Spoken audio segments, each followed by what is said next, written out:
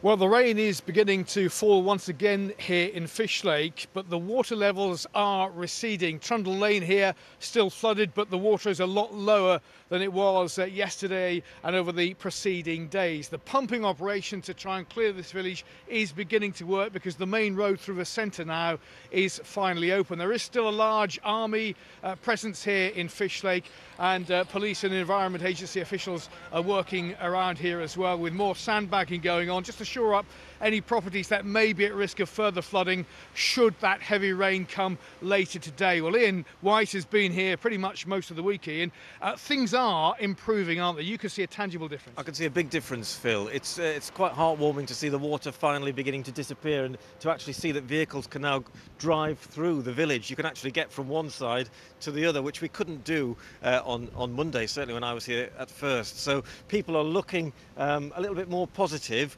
Still a lot of distress and misery around, of course, and people just fed up with the whole situation, but at least the water is starting to disappear a little bit. And do you get a sense that uh, the emergency services are scaling back their operation, or are there is there still a big presence here?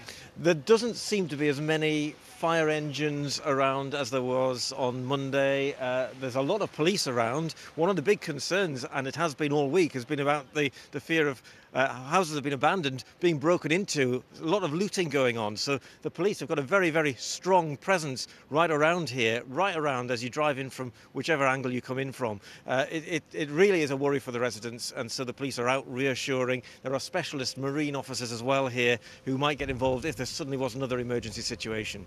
Okay, well, we'll keep a, an eye on that rainfall forecast for this afternoon. Talking to uh, one or two of the businesses in the village, they are concerned about rainfall and how that may top water levels up. But we'll have more on this on Look North tonight at 6.30.